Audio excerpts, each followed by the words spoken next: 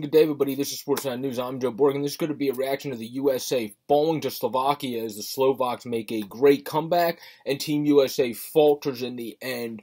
But obviously, it has nothing to do with Strauss Mann who played an absolutely fantastic overall tournament and deserves to get more hype when it comes to coming over to eventually getting signed, maybe to start in the AHL and work his way up to the NHL because he was fantastic for America.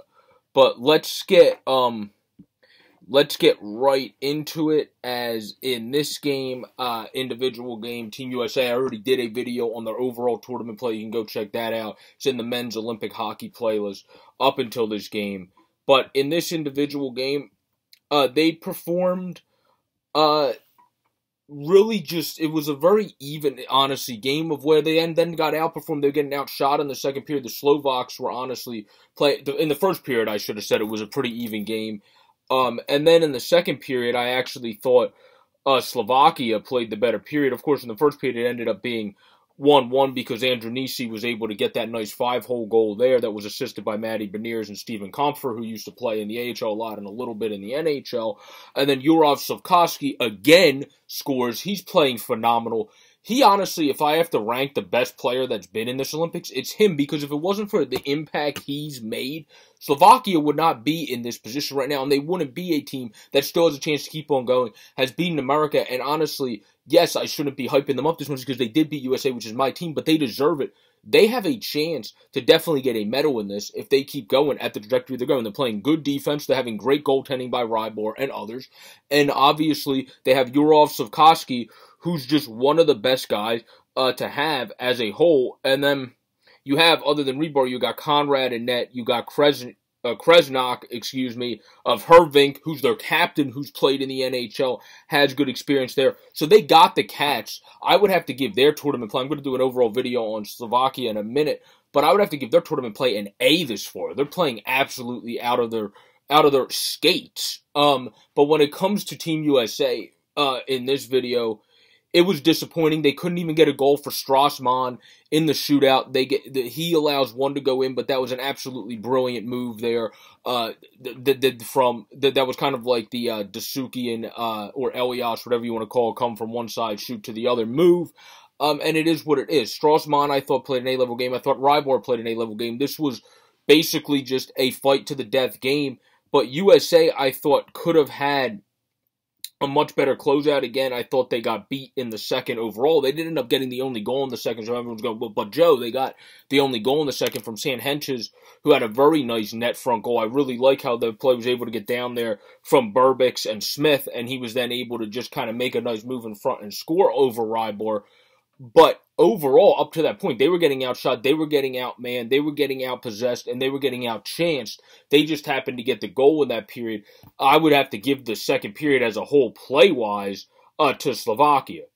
Then when we get to the third period, uh, USA, I think they got too defensive. They got too conservative. They, to me, they didn't push enough. Yes, you don't want to, obviously, because of stupidity being too aggressive, give up the game tying goal, but they were too conservative and too defensive, in my opinion. That's not them. They have good attackers. Um, in the Beniers of the world, of course. Uh, they have good attackers. Um, even in the Agostinos of the world, the O'Neills, the Miele, who's the captains. Um, obviously Andronisi, who scored Matty Knies. Uh, they have Noah Cates. They have uh, Sean Farrell. So they have good attackers. I think they played way too conservative of a game in the third period. They should have went a little bit more attack yeah, they defended okay up to the final minutes when the goaltender was pulled, but they still defended like I, I like the word to use was okay because they still allowed where uh, Strauss Mann had to step up big. Uh, decent chances. Yes, they were keeping them to the outside in different fashions, but I would say in that third period they still allowed three really solid chances at the least uh, to Slovakia, and then eventually when they pulled the goaltender, they tied at the end.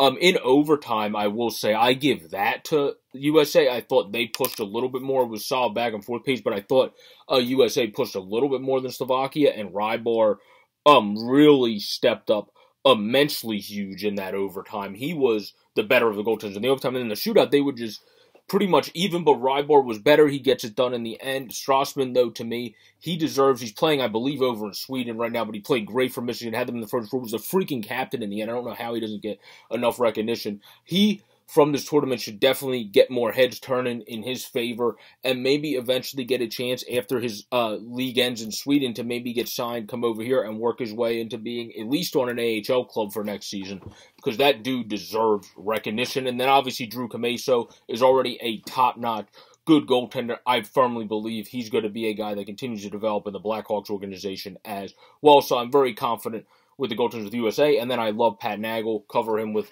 uh, the Reading Royals and Lehigh Valley Phantoms for uh, one of the sites that I work for. But everybody have a great, safe, and pleasant day. Please stay safe out there. This has been a reaction to Team USA falling to Slovakia after blowing the lead in the end with the goaltender pool. Slovakia has a brilliant comeback. They're playing at an A level. USA, I think I gave them a B plus level uh, before um, coming into this game. Now you have to bring them all the way down to, I would say, from this upset, a C to a C plus level because I'm not gonna I'm not going to bring them all the way down to a D or a failure in the tournament because they didn't have the NHL guys. They have a lot of young guys. You saw how emotionally invested they were. There was so many of them were crying and stuff after the game, as you would expect, just because of how invested they are in the Olympics. It's not fair to give them a failing grade when overall uh, USA beat Canada in the prelims, who then eventually did lose to Sweden, so they're out as well. I'll be doing a video on that in a bit. They smoked the host country of China. Um, and they also beat Germany, who's a good team that I did a video on already. If you want to check that on the men's Olympic hockey playlist, so I'm not going to give them a failing grade. I would say it's a C because you got upset by Slovakia. The young kids in the Knives of the world, the Burbicks of the world, uh, the Farrells of the world, etc., the Noah Cates of the world, the Kamases of the world, the Strassmans of the world, they all played really well for Team USA. It's just Slovakia played better. Like I said, I thought they won the second period, and I thought Juraj Slafkovsky's literally been the best uh, player in this entire tournament thus far. It's a 17 year old that's going, oh, don't mind me, I'm going to take over this tournament. Uh, yeah, sure, why not? Um, and then when it comes to Hervics on uh, Slovakia, he's played, I would say he's their second dude that's really leading them immensely great. And then um, you also have Cehlarik and uh, Tokash uh, as well. So they got a good team. They're moving in the right direction. I'll be doing a video on them later. But this has been a reaction to Team USA falling to Slovakia in the shootout. Peace out, everybody. Stay safe. Please subscribe down below or up above on these widgets to keep the channel going to the end goal of 200 by the end of February. Peace out, everybody.